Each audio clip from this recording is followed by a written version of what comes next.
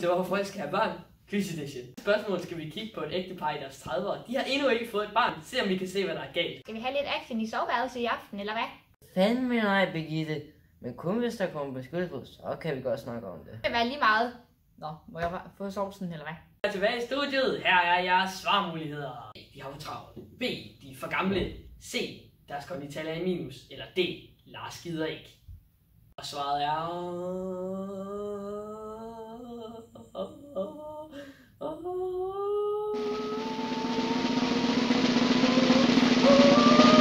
D. Lars gider ikke. Velkommen til halv 10 nyhederne. Først er der et råd fra Sundhedsstyrelsen om, at vi burde få flere børn. Altså jeg mener bare se på kongefamilien. Den er rimelig stor. Gør som hende og få nogle børn. Ja, det er fordi Lars han har desværre mistet sexlysten. Jeg har fandme ikke mistet noget som helst. Jo, Nej! Køllemænd. Åh, oh, som I nok kan se, kan det godt være lidt svært det der med børn nogle gange.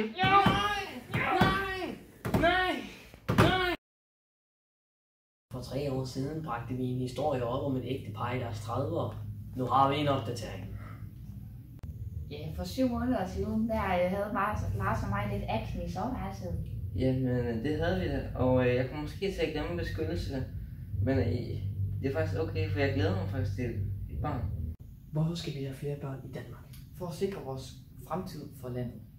Hvad er det gode ved at få børn? Jamen, man får et lille sødt barn til at rende rundt, og sex, det er jo sundt.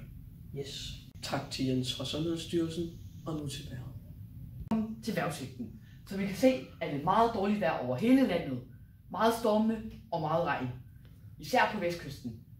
Godfred, hvad kan du hjælpe os med? Der er rigtig meget. Det her,